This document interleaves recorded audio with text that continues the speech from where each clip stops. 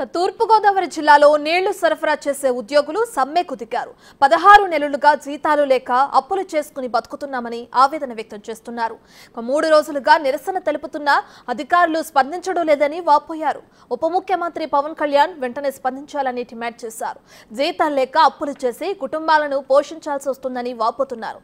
ఇదే విషయానికి సంబంధించి పూర్తి డీటెయిల్స్ మా ప్రతినిధి శంకర్ అందిస్తారు. గ్రామీణ నీటి పారుదల శాఖ ఆధ్వర్యంలో పనిచేసే ఏదైతే Sathya Sai drinking water supplies maintenance work association అయితే సమ్మెకి పిలుపునిచ్చిందని చెప్పుకోవాలి.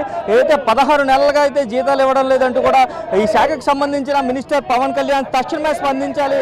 తమ చెవులో పువ్వులు పెడుతున్నారు కాంట్రాక్టర్లు అంటూ కూడా వారు అర్ధనగ్న ప్రదర్శన చేస్తున్నారు. అలాగే పవన్ కళ్యాణ్ ఫోటోలు అయితే నిరసన ప్రదర్శిస్తున్నారు. అలాగే చెవుల్లో పువ్వులు పెట్టుకొని కూడా నిరసన తెలుపుతున్న పరిస్థితి కనిపిస్తుంది.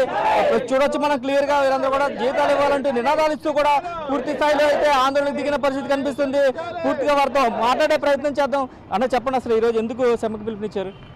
సార్ మేము గ- గతంలో మేము రెండు రోజులు ధర్నా చేయడం జరిగిందండి. మాకు రావాల్సిన పదహారు నెలల జీతాలు పెండింగ్లో ఉన్న ఈఎస్సీ పిఎఫ్ ఏవి కట్టకపోతే గతంలో మేము రెండు రోజులు ఇదే ప్లాట్ఫారం మీద మేము ధర్నా చేయడం జరిగింది. ఎటువంటి అధికారులు స్పందించలేదు.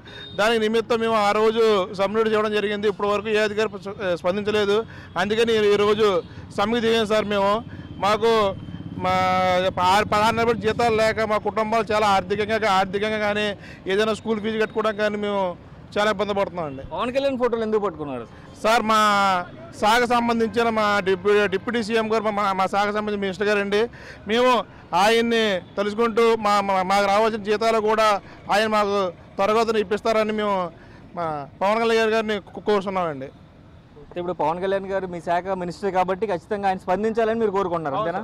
ఏంటి గడ్డి పట్టుకోవడం ఏంటి? చెవులో పూలు పెట్టుకోవడం అయినా వినూత్నంగా చేస్తారు? సార్ మాకు తిండాకమ్మ తిండి లేదండి చాలా ఇబ్బందికరంగా ఉన్నాం. మేము కూడా అప్పులు చేసి మేము ఇంటికి కుటుంబం పోయించుకున్నామండి ఒక్కోసారి మేము గడ్డి తినే పరిస్థితి ఇప్పుడు ఏర్పడింది సార్ మా జీతాలు లేక. మేము ఈ విధంగానే సరే ప్రభుత్వం వారు మమ్మల్ని ఆదుకుంటారని ఈ విధంగా మేము ఈ విధంగా నిరసన తెలిపి మేము ప్రభుత్వం వారికి చెప్తున్నాం సార్. మొత్తం ఎంతమంది రోడ్లో ఈ వాటర్ సప్లై చేసే వాళ్ళు? ఎంతమంది ఉన్నారండి మొత్తం?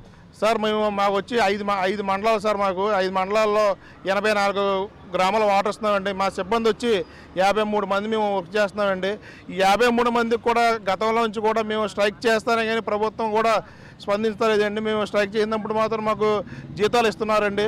ఇప్పుడైనా సరే మా మా ఏళ్ళు మా డిప్యూటీ సీఎం గారు మా శాఖ మినిస్టర్ గారు పవన్ కళ్యాణ్ గారు మా ఎందు దయించి ఇప్పుడైనా సరే మాకు శాశ్వత పరిష్కారం ఏర్పాటు చేసి మమ్మల్ని కాంట్రాక్ట్ కాంట్రాక్ట్ బేసిక్ తప్పించి అవుట్సోర్సింగ్లు కలిపి మాకు కూడా మా- మాకు కూడా ఏర్పాటు చేసి ప్రతి నెల కూడా జీతాలు వచ్చే విధంగా మాకు ఆదుకుంటారని మా శాఖ మినిస్టర్ గారు అయిన డిప్యూటీ సీఎం గారు మేము కోరుచున్నామండి. కానీ అన్న మీరు చెప్పండి అసలు ఏంటి? పదహారు నెలలుగా జీతాలు లేకపోతే ఇల్లు ఎలా గడుస్తుంది అసలు? సకాలంలో కార్మికులకు జీతాలు చెల్లించవలసిన కాంట్రాక్టర్ అగ్రిమెంట్ని అటకెక్కించారండి. పూర్తిగా మమ్మల్ని రోడ్డు పాలు చేశారు. వారు ఎటువంటి సమాధానం లేకపో అటు అధికారులు కూడా ఇలా వచ్చి మా శిబిరాన్ని సందర్శించిన దాఖలు కూడా లేవు. కనుక మాకు న్యాయం చేయవలసినటువంటిది కేవలం పవన్ కళ్యాణ్ గారేనండి. అలా అనంతపురం ప్రాజెక్టులో వారు న్యాయం చేకూర్చారు. వారి నిరసనలో మీ ద్వారా తెలియచేయండి మా నిరసనలు కూడా. తెలిసి మాకు కూడా న్యాయం జరిగేలాగా చూడాలని కోరుకుంటున్నామండి. సంవత్సర కాలం నుంచి ఇల్లు ఎలా గడుస్తుంది అని అడుగుతున్నాను. అప్పులు పాలు అప్పులు చేసుకున్నామండి. ప్రతి రూపాయి కూడా అప్పు చేసుకుని వడ్డీలకు తీసుకొచ్చి జీతం వచ్చినప్పుడే చెల్లిస్తామని చెప్పేసి వాళ్ళకి తెలియజేసాం ఇప్పుడు ఈ మీడియాలో మా వార్త చూస్తే అప్పుల వాళ్ళు కూడా మా మీద పడే అవకాశం ఉందండి.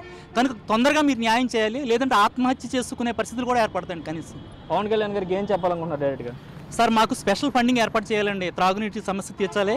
నెక్స్ట్ ఏంటంటే స్పెషల్ ఫండింగ్ జడ్పీ ఫండింగ్ ద్వారా కానీ లేదా పంచాయతీరాజ్ శాఖ ద్వారా కానీ స్పెషల్ ఫండింగ్ ఏర్పాటు చేసి నెల నెల జీతాలు వచ్చేలా చూడాలండి. మరి సమర్థవంతమైనటువంటి కాంట్రాక్టులు మాత్రం నియమించాలండి.